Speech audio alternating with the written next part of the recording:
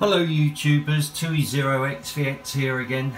Alright, a few people have been asking how you get the Nextion screen to work with the USB to TTL converter. Well first of all you have to go into your MMDVM INI file and change that display line to Nextion. It's normally um, none, N-O-N-E. You've got to change that to Nextion and go up to the top and save it once you've done that so you go up to the top and you click on save and you save it. The next thing you've got to do is go down to the bottom here in your LX terminal open up an LX terminal window and type in sudo raspi-config when you do press the return key. Uh, you will get let's put it on the right line you'll get the main box come up you've got to go down to interface options number five. So you go down to number five. Press the return key. In here you've got to go down to serial port. And I'm not going to do it on mine because I don't want to mess it up.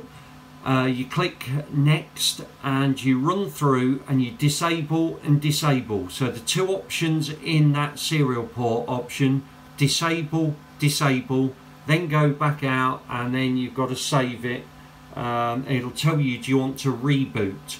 Do a reboot turn the whole Pi off turn it back on again do a full uh, shutdown. So don't just once it's done a reboot then do a go down to the bottom here of the Raspberry Pi and go on there and click shut down shut it down take the power out turn it back on again and then you'll find that your Nextion screen will work but you must go up to the top put in the word Nextion in there go down to your LX terminal open the window up type sudo raspi hyphen hyphen config and then you'll get the screen come up that tells you that you um, you need to change the serial port setting you've got to disable the serial port before it will work so I hope this video gives you a bit of an insight into uh, what you need to do